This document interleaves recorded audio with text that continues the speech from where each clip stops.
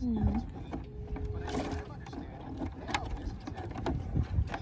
hmm. boiling the hot water right now, and that's how, look at how big of the crab is.